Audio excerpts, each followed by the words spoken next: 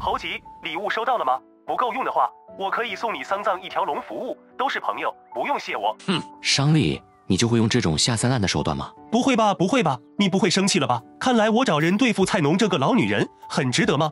菜农的事只是一个警告，识相一点的，把利和的股票全部抛出去，还有金牌娱乐给我交出来，否则不光是菜农，还有你的女朋友公子苑，甚至是你妈，指不定就是谁，哪天就被拖到小巷子里去了哟。搞了半天，你不就是想要金牌娱乐和利和的股票吗？没错，否则你以为你也配让本少爷亲自给你打电话吗？金牌娱乐我不会给你。另外，利和的股票我非但不会抛，还会加大力度的收购，因为我已经知道这家公司已经内定了承办开幕式项目，未来只需要我轻轻炒作一下，就能把它推到大夏五十强企业。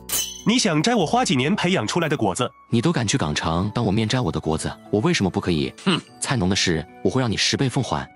你以为自己是谁？在帝都这一亩三分地，你是龙给我盘着，是虎给我握着。既然你非要跟我硬刚到底，那好，希望下次通话你还能这么嘴硬。电话挂断，侯吉阴沉着脸打电话给了何超林，让你办的事情如何了？老板已经帮您联系了手头上有利和股票的券商，他们说只要溢价百分之三十，就愿意把手头的股票转售给我们。答应他们，并且把这件事宣传出去。商少，不好了！有屁快放，别打扰老子好事。刚刚几大券商宣布集体售出了利和的股票，收购人就是侯吉。什么？商利万万没想到，自己已经发出警告了，侯吉居然真的敢变本加厉的收购利和的股票。该死的，侯吉，你找死！商大少爷怎么又给我一个小垃圾打电话了？难道是因为我说过券商手里利和股票的事？不会吧，不会吧，商少该不会是打电话求我的吧？这一次，商利之前嚣张的语气已经完全消失了。侯吉这么做对你对我都没有好处，只会让我们两败俱伤。不如我们各退一步。好啊，让你手下按照对付菜农的办法对付你，就在我面前做。完事了，我可以退一步。你真要跟我鱼死网破？大不了我拼着被爷爷责骂，动用伤亡令。等伤亡令一出，就不仅仅是股票的事了，你名下全部的产业都要被清算。哼，商丽，你还不明白吗？从你对我身边人下手那一刻，你我就不死不休了。商少消消气，利和今天的股价涨得太狠了，影响非常恶劣。你明天盯着点，要是对方继续吸筹，就把我们手上的货抛出去压价，务必要压到对方损失大到承受不起的地步。商少，如果换作是平时，咱们这么做倒没什么，但是这次对手的资金量太大了，我们需要动用公司非常巨大的股票，才能把价格压下去。如此巨大数量的股票，我怕被证监会带到。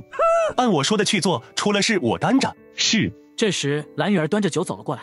商少火气怎么这么大？别提了，被一个傻叉气的。看得出来，商少的压力很大。正好，我的几个姐妹今晚想嗨一嗨，商少有没有兴趣去玩玩？火气正旺的商丽想都没想就答应了。猎物已上钩，准备收网。利和的股票，我们现在才买了百分之二十，分量太少。今天上午给我继续扫货，同时拉高利和的股价到涨停板。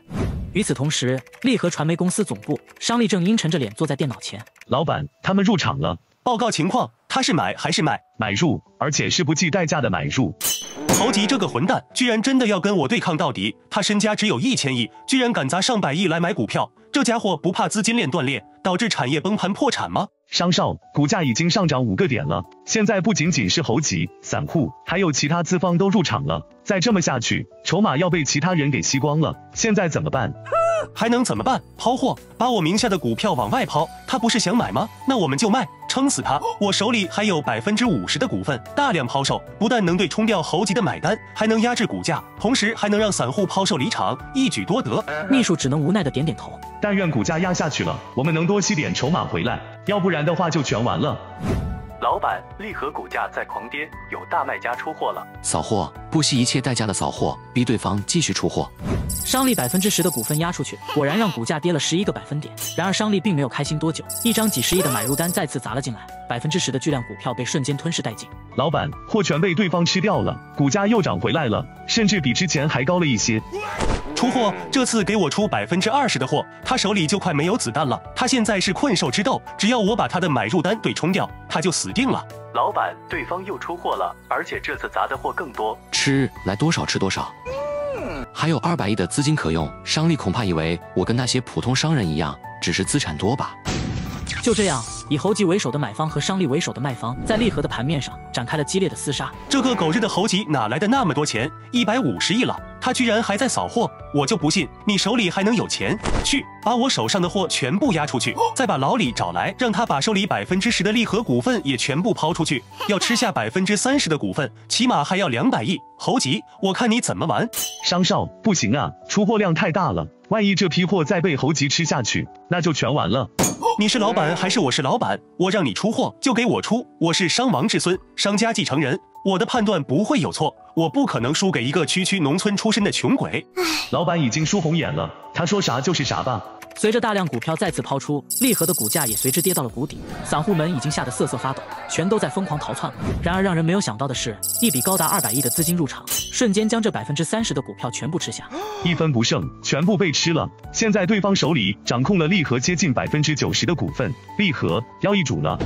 商利如遭雷击，一下子瘫坐在了椅子上。没可能的，他他怎么可能有那么多现金流？没道理的啊！是不是他让那群港商出钱了？一定是这样的。如果是这样的话，那么这场股战就是港商在向地商发起挑衅。这样一来，我就有足够的理由让爷爷向集体地商发出命令，对侯吉的产业进行大清洗。商少，没有任何来自港城的资金，从始至终资金都是侯吉一个人的，这一点我早就让人时刻在监控了。一千亿身家的人能有三四百亿的现金流，这他喵是什么奇葩？就在此时，商丽的手机响了起来。儿子，利和是怎么回事？爸，你还记得上次抢了我功劳的猴吉吗？是他搞的鬼。他平白无故的会来招惹你这个惹事精吗？我行了，我不管你们之间有什么恩怨，马上收手，大不了后期损失点钱把股份收回来，只要利和还在咱们手上就行。爸，这话你说晚了。猴吉现在已经吸足了筹码，利和已经易主了。什么？商震天顿时勃然大怒。你跟李森加起来一共有百分之六十的股份，侯吉就算撑破也只能买百分之四十，怎么可能让公司易主？你卖了自己的股份，百分之十还是百分之二十？爸，我我全卖了。你再说一遍，你卖了多少？我手里的百分之五十，还有老李的百分之十，全卖了。侯吉现在拥有利和百分之九十多的股份了。商震只感觉一阵头晕目眩，一屁股瘫坐在了地上。